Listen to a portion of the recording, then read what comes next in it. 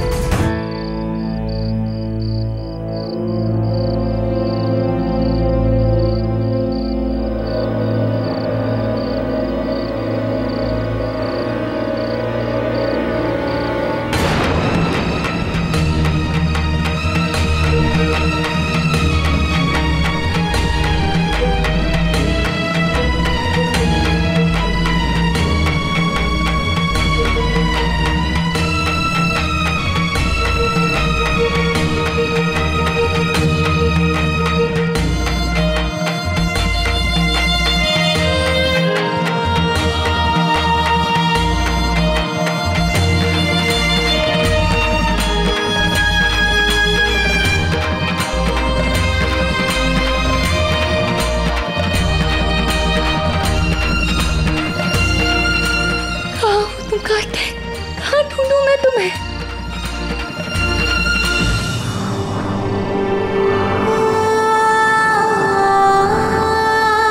आप ऐसा नहीं कर सकते, भगवान जी।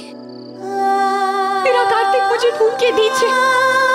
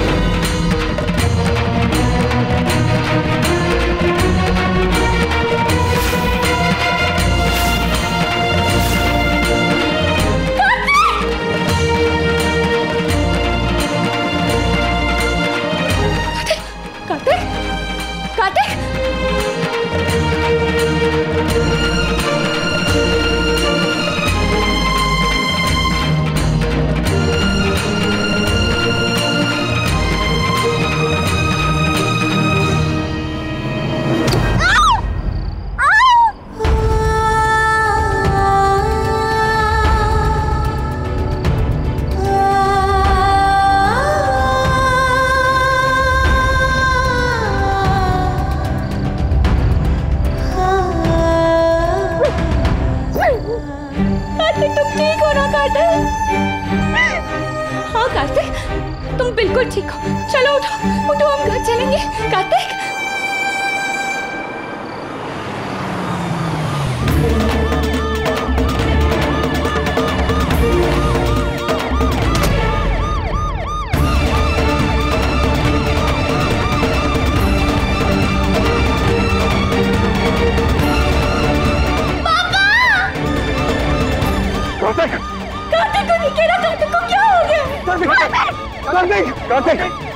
कार्तिक कार्तिक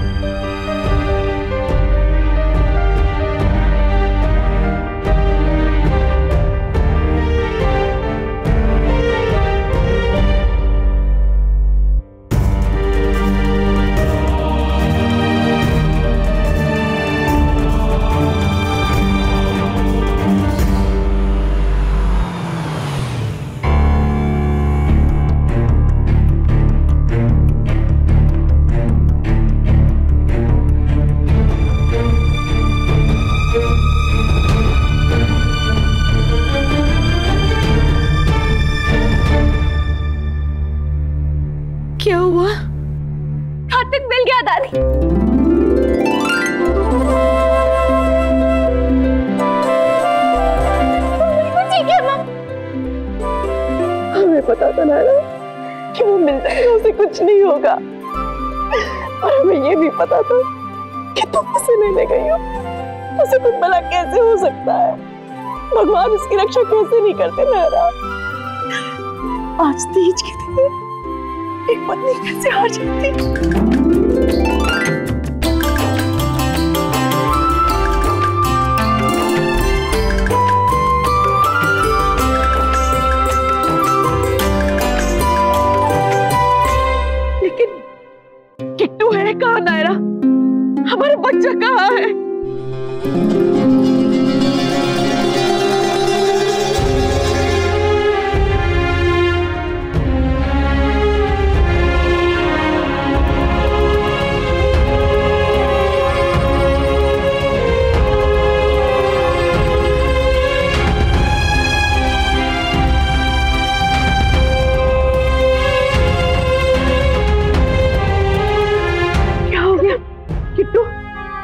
क्या हो गया? बच्चा?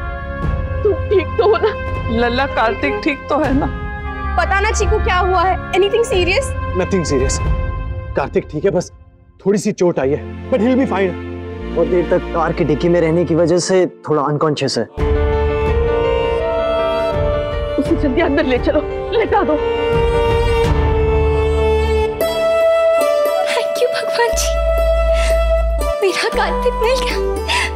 थैंक यू सो मच क्या हुआ? क्या कहा डॉक्टर ने?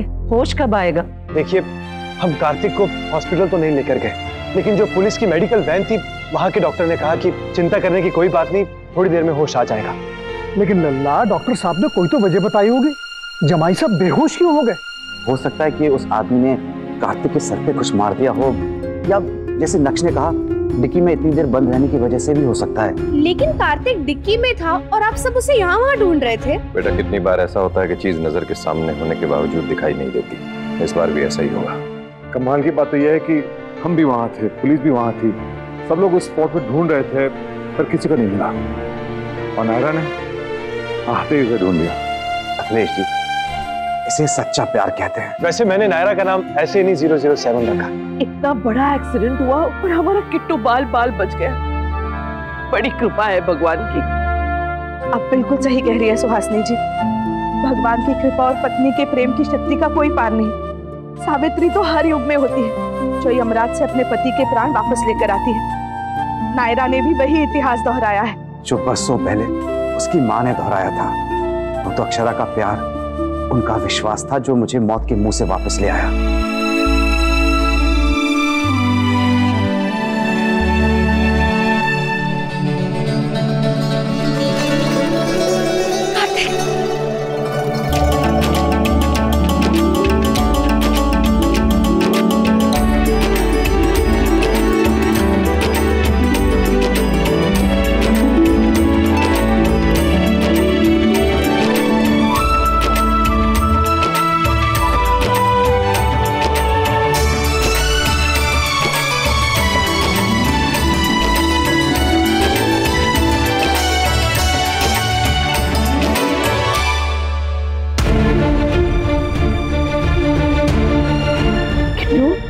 कैसे हो बेटा? ठीक तो हो ना? कार्तिक तुम ठीक हो ना? हाउ यू फीलिंग नाउ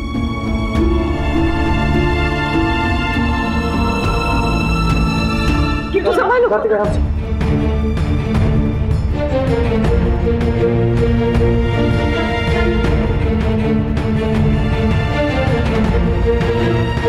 मैं ठीक हूँ.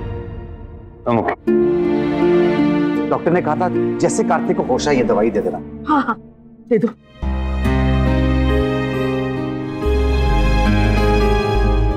ये लो बेटा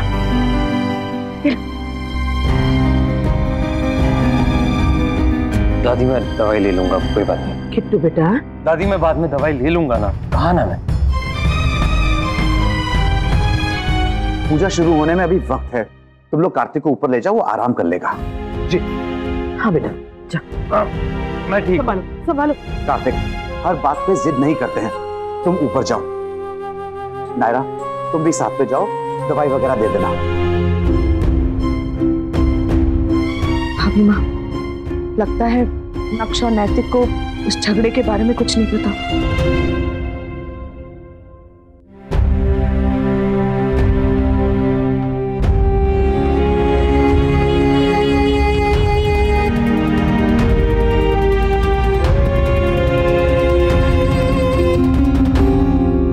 प्रिंसेस तुम भी जाओ ना। पापा मैं कार्तिक के लिए हल्दी वाला दूध लेके आती हूँ। वो तो कोई भी जाकर ला सकता है। तुम कार्तिक के साथ जाओ।